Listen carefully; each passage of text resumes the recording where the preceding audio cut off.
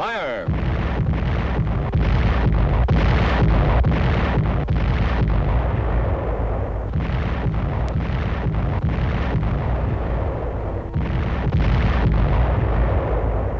The fight for Indochina goes on. French pilots flying American planes take up where the big guns left off, blasting communist divisions which had infiltrated French positions in the Hanoi Delta.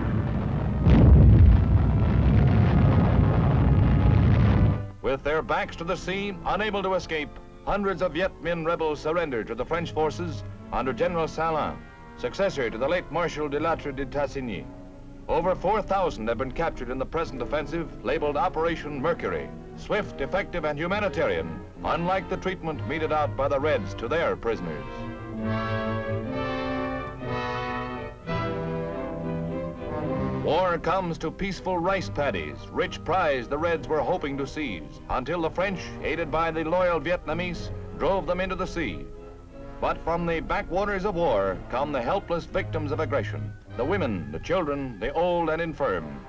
Communism passed their way.